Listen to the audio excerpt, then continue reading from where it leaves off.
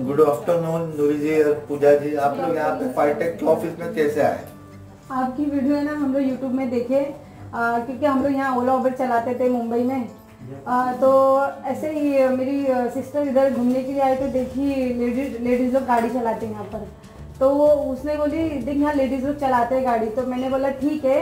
आ, हम लोग यूट्यूब में भी मैंने चेक किया तो ये फाइटेक का पता चला मुझे।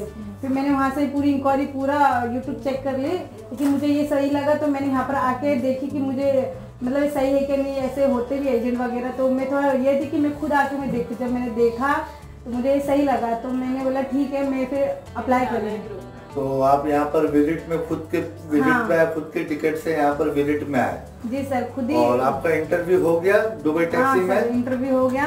ओके आपसे कोई पैसा लिया गया? ने एक्स्ट्रा पैसा कोई कुछ कोई नहीं भी। अभी तक नहीं लिया गया ना? आप विज़िट वीज़ा भी खुद से लेकर आए आपका टिकट भी खुद का पकड़े आपका हाँ, दोनों इंटरव्यू कंप्लीट हो गया हाँ। अलहमदुल्ला। तो अभी तक आपसे कोई हमने पैसा नहीं लिया। नहीं। तो आप दूसरों को क्या बताना चाहती थी फाइटेक के बारे में? कि जो जिसको इंटरेस्ट है वो आके यहाँ पर अप्लाई करें। ये सही है। मैं मेरे को शक था बोल के मैं यहाँ पर आई और देखी तो सही लगा मुझे। मैंने तो इतना जानकारी नहीं ली थी फाइटेक के बारे में, लेकिन इसने बहुत सारी जानकारियाँ ली तो फिर मैंने भी सोचा कि नहीं चेक कर लूँ मैं भी।